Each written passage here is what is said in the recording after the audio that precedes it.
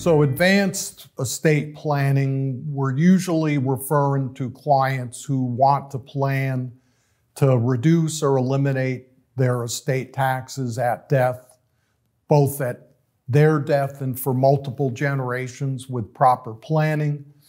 Also, we refer to clients that need asset protection incorporated into their estate plan. When you're doing estate tax planning, asset protection is a necessary element of it. Generally, it's people who are achieving financial success, whether it's through a business or an inheritance or working as an executive. And we like to start as soon as possible. So, income tax is like a sprint. You do year by year planning, whereas estate planning is a marathon. The earlier you start, the better the results.